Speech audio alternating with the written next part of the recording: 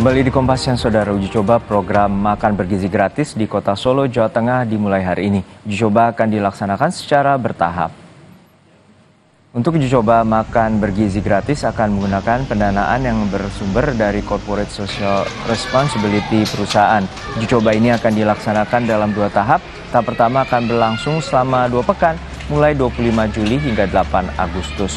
Sementara tahap kedua akan melibatkan beberapa SD dan SMP. Uji coba dilakukan di tiga sekolah yang berlokasi di Kecamatan Jebres, lalu dilakukan di SDN Sanggrahan, lalu Jagalan dan juga SDN Tugu. Hari ini mendapatkan uh, makan gratis jumlah siswa kami 160 kemudian yang menangani dari GoFood mekanismenya kami dari pihak sekolah sudah diberi penjelasan bagaimana cara untuk pesan. Kemudian hari ini kami sudah mulai pesan hari ini sudah menerima nanti sebentar lagi akan kami bagikan pada anak. Awalnya sini itu mengajukan atau tidak, dipilih? Tidak Informasi terkini terkait dengan pelaksanaan uji coba program makan bergizi gratis di Solo, Jawa Tengah sudah ada jurnalis Kompas TV Bidi Nugroho. Bidi untuk saat ini bagaimana jalannya uji coba terutama pemberian makanan bergizi gratis bagi tiga sekolahan di Solo, Jawa Tengah dan benarkah me, atau benarkah menggunakan juga dengan pihak swasta untuk mendistribusikan sejumlah makanan gratis bagi siswa di sana? Ya, Juno dan saudara selamat siang. Memang uh, uji coba makan bergizi gratis sudah dilakukan pada hari ini di tiga sekolahan yaitu SD Negeri Jagalan, SD Negeri Tugu, dan SD Negeri Sanggrahan. Semuanya berada di Kecamatan Jebres seperti yang uh, tadi Anda sampaikan. Dan uh, uji coba hari ini bekerja sama dengan salah satu pihak swasta, uh, penyedia layanan uh, transportasi dan juga pengantaran makanan yang ada di Kota Solo. Dan sudah dilakukan tadi uh, mekanismenya dengan cara uh, pemesanan seperti biasanya jika kita memesan makanan dan nantinya makanan tersebut sudah terafiliasi dengan UMKM yang ditunjuk oleh pihak swasta yang menjadi rekanan dari uji coba uh, makan bergizi gratis ini. Setelah dilakukan pemesanan nanti akan ada kurir yang mengantar ke sekolah sesuai dengan jumlah pesanan yang dilakukan. Jadi bisa saja menu uh, antar kelas berbeda karena memang tidak hanya satu titik yang dijadikan tempat untuk uh, produsen makanan yang disiapkan untuk makan bergizi gratis ini.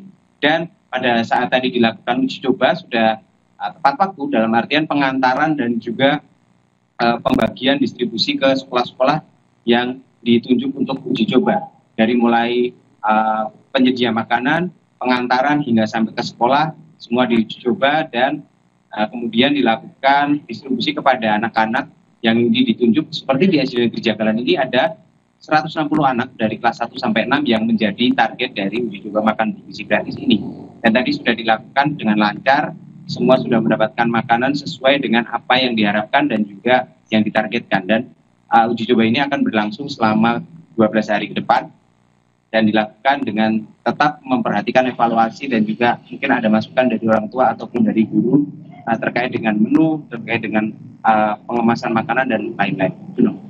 Ya Widi, untuk saat ini seperti apa gambaran uh, prediksi uh, jumlah harga makanan per porsinya karena pada dua hari lalu juga dilakukan di Kabupaten Bogor, Jawa Barat seharga Rp14.900. Lalu seperti apa gambaran di sana dan juga menu uh, makanan bagi anak-anak? Ya Juno, memang dari pihak penyedia belum bersedia untuk memberikan rincian harga dari makanan yang uh, disajikan pada saat uji coba tadi mereka beralasan akan ada waktunya nanti bersama dengan Wapres terpilih Gibran Raka Buming yang rencananya akan meninjau secara langsung uh, uji coba di kota Solo ini. Namun untuk harinya kapan kami masih menunggu konfirmasi. Sementara untuk menunya sendiri tadi kami lihat ada nasi, sayur, kemudian lauknya berasal dari protein hewani dan juga protein nabati, ada buah dan susu yang dibagikan kepada setiap siswa dan para siswa sendiri mengaku senang dengan adanya menu uh, makan siang tersebut karena mereka merasa rasanya enak dan juga uh, porsinya cukup untuk mereka, cukup mengenyangkan artinya untuk uh, waktu di siang hari nanti. Dan berikut ketika wawancara kami dengan salah satu siswa yang tadi merasakan dan mencicipi menu yang uh, diuji coba. Karena ada lauknya, ada buahnya, ada sayurnya. Hmm. dan ada tempenya dan ada susunya. Kalau rasanya sendiri gimana? Enak. Enak ya. Kalau kamu biasanya kalau sekolah gitu bawa bekal dari rumah atau jajan kalau? Bawa bekal dari rumah. Ini kan sudah ada nanti misalnya ada program seperti ini terus gitu kamu pilih ini atau pilih bawa bekal dari rumah? Pilih ini Kenapa? karena enak. Ada Enak. karbohidratnya dan ada proteinnya. lengkap ya. Iya. Ya, tanggapan seperti ini memang berasal dari beberapa siswa yang tadi merasakan menu dari makanan yang dibagikan. Dan mereka juga berharap nantinya ada variasi-variasi variasi lain, tidak hanya menu-menu ini saja setiap hari agar tidak bosan uh, mereka dalam uh, mengikuti program makan siang atau makan bergizi gratis ini. Dan harapannya juga dari orang tua serta dari guru, program ini tidak hanya berlangsung sebentar saja, karena memang dinilai cukup membantu terutama untuk para siswa dengan kondisi latar belakang ekonomi yang uh, tidak ataupun kekurangan. Makan siang seperti ini akan sangat membantu orang tua dalam mencukupi kebutuhan gizi anak-anak mereka, terutama uh, pada saat di sekolah. Juno. Baik, uji coba makan gratis di Solo, Jawa Tengah ini akan terus berlangsung hingga tanggal 8 Agustus mendatang. Terima kasih, jurnalis Kompas TV Widi Nugroho dari Solo, Jawa Tengah.